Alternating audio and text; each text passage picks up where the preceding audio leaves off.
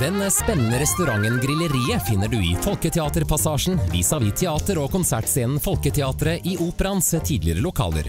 I varme og intime, men samtidig romslige og sjenerøse lokaler ønsker vi deg velkommen til et utsøkt måltid eller bare noe å drikke. Vi tilbereder maten på kullgrill og hver ett med omtanke.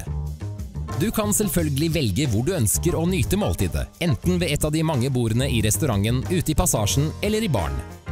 I hjertet av restauranten ligger kjøkkenet omkranset av en unik bardisk. Når kokken tilbereder maten, kan du følge med mens du koser deg med noe godt å drikke.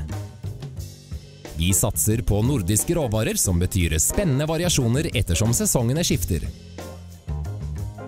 Vi går heller ikke av veien for å utfordre maten med krydder eller en ingrediens fra en annen del av verden. Ut og spise i kveld, Grilleriet. Velkommen til en unik restaurantopplevelse.